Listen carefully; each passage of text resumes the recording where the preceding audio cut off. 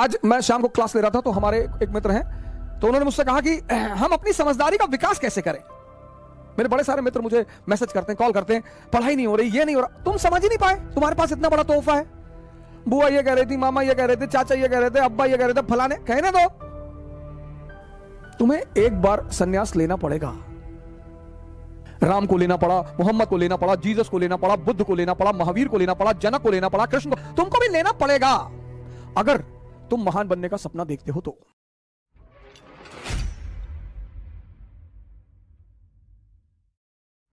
आज मैं शाम को क्लास ले रहा था तो हमारे एक मित्र हैं तो उन्होंने मुझसे कहा कि, हम अपनी समझदारी का विकास कैसे करें? मैंने कहा, सूखा हुआ पेड़ देखा है? बोले, देखा है। मैंने कभी उस पर पानी चढ़ाते हुए किसी को देखा है? बोले, नहीं। हमने कहा, बस। जितनी यूटिलिटी पैदा कर लोगे, दुनिया में कुछ चीज़ों पे ही तुम्हें ध्यान देना है, सब पर ध्यान ही नहीं देना। तुम एक शादी में गए, तुम्हें कोई खाना नहीं पूछ रहा, तुम्हें कोई पानी नहीं पूछ रहा है, वो दुखी होने की बात नहीं है, वो जागने की बात है। कि यार मेरी उपयोगिता क्या है? क्यों पूछेंगे लोग मुझे? तुम्हारे सामने एक आईएएस ऑफिसर आया, तुम्हारा दोस्त, पूरा परिवार उसके ऊपर टूट पड़ा। ये दुखी होने की बात नहीं, ये सोचने की बात है कि नहीं नहीं यार, इसकी यूटिलिटी ज़्यादा है। ये खुश हो जाए तो सौ करोड़ का टेंडर दिला दे साल भर में। बस। जिसने भी इसको समझ लिया, मन मेरे बड़े सारे मित्र मुझे मैसेज करते हैं, कॉल करते हैं, पढ़ाई नहीं हो रही, ये नहीं हो रहा। तुम समझ ही नहीं पाए, तुम्हारे पास इतना बड़ा तोहफा है। हटाओ इसको दुनिया से। बुआ ये कह रही थी, मामा ये कह रहे थे, चाचा ये कह रहे थे, अब्बा ये कह रहे थे, फलाने कहने दो।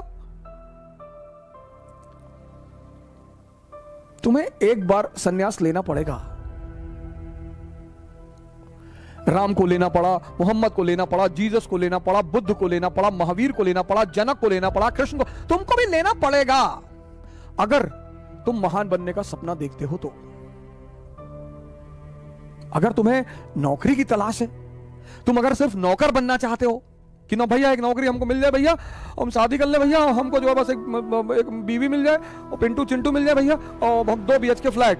हम ज़्यादा नहीं सोचते भैया। हमारे एक मित्र हैं हमसे कहते कि हमें हवस नहीं है पैसे की हम पैसा नहीं कमाना चाहते। हम कहते तुम कमा भी नहीं पाओगे। दम चाहिए बाबूजी। जितने भी महान आदमियों को उठाओगे, सब में एक चीज़ कॉमन है। कई चीज़ें कॉमन है। एक चीज़ बिल्कुल कॉमन है। सबने संघर्ष को जीना शुरू कर दिया। जो संघर्ष से भाग रहा है, वो आम आदमी है। कौन है सर जिसके जीवन में संघर्ष नहीं है? सब। तुम्हारा सपना जितना बड़ा होगा, तुम्हारा संघर्ष भी उतना ही बड़ा होगा।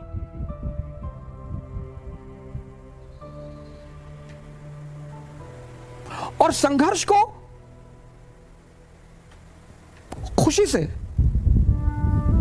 संघर्ष को खुशी से खेलने का नाम योग्यता है।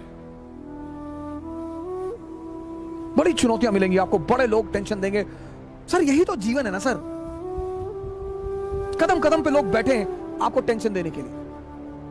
अगर आप आँख खोलें और ज़्यादातर अपने ही लोग हैं कोई रिश्तेदार है, कोई दोस्त है, कोई पड़ोसी है।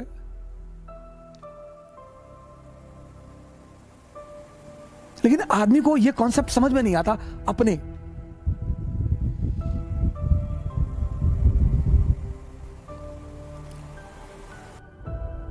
जब तुम अपनी महत्वाकांक्षा किसी को बताते हो, और तुम योग्य होते हो तो जलन पैदा होती है। यह मानवीय प्रवृत्ति ऐसा नहीं, हमारे में होती, तुम्हारे में होती, सब में होती है।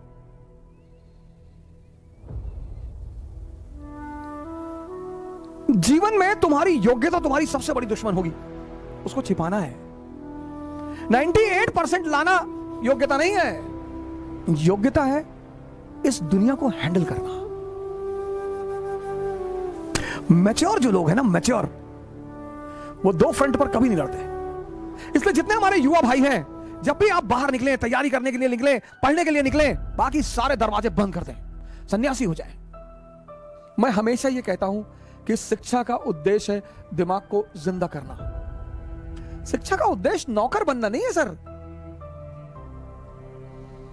और ज़िंदा दिमाग कहीं भी होगा, कलाम होगा। ये सब ज़िंदा दिमाग है, सर। कुछ चीज़ें एकदम क्लियर है। हम मिडिल क्लास के लोग, हमारे पास खोने को कुछ भी नहीं है। हम कौन सा मुगल फैमिली के हैं? जब गांधी फैमिली के राहुल गांधी तीस चुनाव हार कर फिर लड़ने के लिए तैयार हैं, मैं राहुल जी से बड़ा प्रभावित हूँ इस मुद्दे पर। ठीक है, उनकी हिम्मत की, उनकी इस चीज़ की मैं बड़ी सराहना करता हूँ कि क्या बात क्या जज्बा है उस बंदे में। लड़ाई लड़ेंगे। जब वो गांधी फैमिली होकर उनको चिंता नहीं मोतीलाल नेहरू प्रभावशाली आदमी, जवाहरलाल नेहरू प्रधानमंत्री, इंदिरा गांधी प्रधानमंत्री, उनकी माँ किंग मेकर, उनके फादर प्रधानमंत्री। आप क्यों परेशान होते हो? मेरा प्री नहीं निकला। नहीं निकला, कोई बात नहीं, दूसरा दे दो।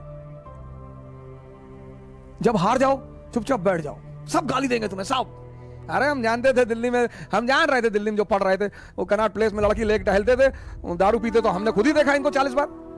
ये दुनिया है। जब तुम हारोगे ना, तुम्हारी गली का कुत्ता भी भौंकेगा तुम पर।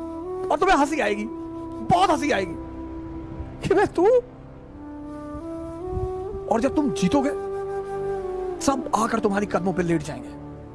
अरे भैया, तुम पैदा हुए तो हमको भगवान दिखाई पड़े थे सपने में। तो हम तुम्हारे पापा से बोला कि भगवान का साक्षात अवतार है। अपने लिए जियो, अपने लिए। हारो। सरेंडर कर दो। देने दो गाली। वो उनका धर्म है, सर। आपने बहुत कष्ट दिया उनको कि आईएएस बन रहे हैं, प्रीलिम्स निकल गया मेरा। उनको झटका लगा कि अरे, प्रीलिम्स निकल गया। हाँ। अच्छा।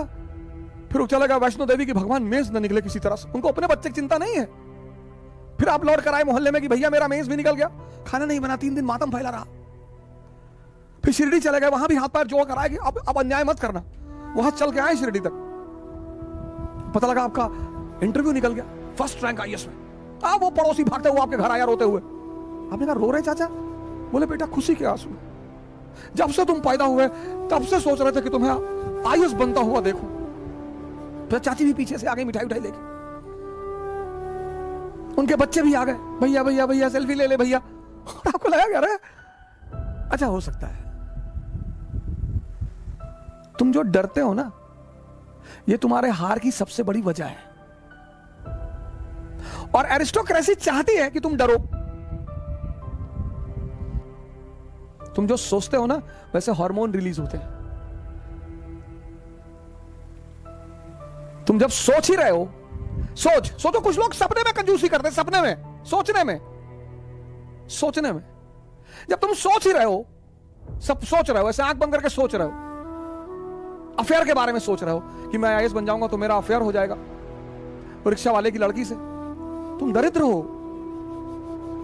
जब तुम सपने में सोच रहे हो अफेयर के बारे में तो डेमीमूर से सोच लो, सुष्मिता सेन से सोच लो, ऐश्वर्या राय से सोच लो।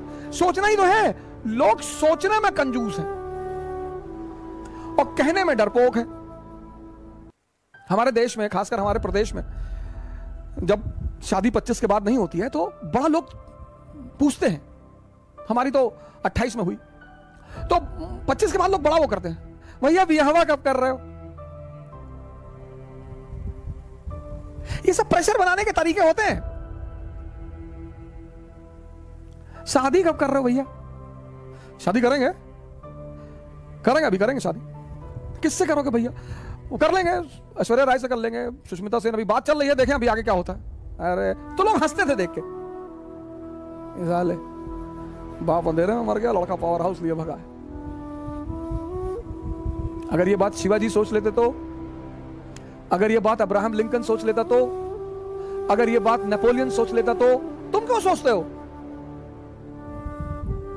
जब ये बात शिवाजी ने नहीं सोची, नेपोलियन ने नहीं सोची, अब्राहम लिंकन ने नहीं सोची, अंबेडकर ने नहीं सोची, गांधी ने नहीं सोची, तुम क्यों सोचते हो?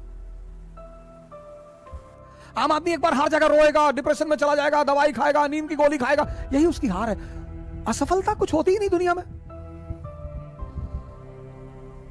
कबीर असफल है? रविदास असफल है? खेल है सर। कभी जीतोगे, कभी हारोगे। जब हारोगे तो लोग गाली देंगे। उसके लिए तैयार रहो। और जब जीतोगे, आगे लेट जाएँगे लोग। भैया भैया, किसी के फुफ्फी के लड़के हो जाओगे, किसी खालक लड़के हो जाओगे, किसी मामू के लड़के हो जाओगे नए नए रिश्तेदार पैदा हो जाएँगे। तुम भी सोचोगे कि पहले तो नहीं थे यार ये। इस दुनिया में मज़ा क्या है सर? विरोध का होना विरोध विरोध। जितना तुम्हारा विरोध होगा, उतने तुम्हारे उभरने की संभावना बढ़ जाएगी। विरोध मुर्दे का नहीं होता, सर। चाहे जितना बड़ा अपराधी हो, जब मरता है ना तो दुखी होते हैं लोग। तुम्हें पता करना कि तुम ज़िंदा हो कि नहीं? अगर तुम ज़िंदा हो तो लोग तुम पर हंसेंगे। अगर तुम ज़िंदा हो तो लोग तुम्हारा विरोध करेंगे। ये सब ज़िंदा होने की निशानियाँ हैं, सर। जब तुम फ़र्स्ट रैंक आए हो और मुस्कुरा रहे हो, उस मुस्कुराहट की कोई कीमत नहीं कुछ चीज़ें कीमती होती हैं, विशेष परिस्थिति में। तुम हार गए और मुस्कुरा रहे हो। बहुत कीमती मुस्कुराहट है वो। जो ऑड सिचुएशन में ऑड ऑड विपरीत परिस्थिति में जो आदमी मुस्कुरा रहा है, बस वही महान है।